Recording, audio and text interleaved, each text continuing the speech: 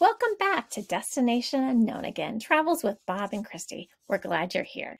Today, we're going to Gibbs Gardens in Ball Ground, Georgia. We stumbled upon this on our travels and we couldn't wait to explore it. The day we arrived was opening day, and there were acres and acres of gardens and over 20 million daffodils. The amount of flowers and the paths around them made us want to wander and wander for hours on end. Look at this intricate garden gate. Don't you just want to push it open and see what lies beyond and explore the garden? Well, we did.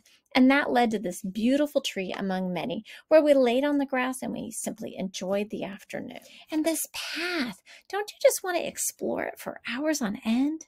I could just imagine in a few weeks all the blossoms and how beautiful it would be. Here is the perfect location for a picnic blanket, some lunch, and a little glass of wine while simply wasting away the day. Around every bend are pools of water that just invited me to want to skip stones or dip my toes in it. It was absolutely surreal. And of course, there's always an opportunity for a selfie so that we can capture the joy on our faces and on these journeys and remind us of this amazing journey that we're on. I hope you'll make time to visit Gibbs Gardens, Seasons of Colors in Ball Ground, Georgia.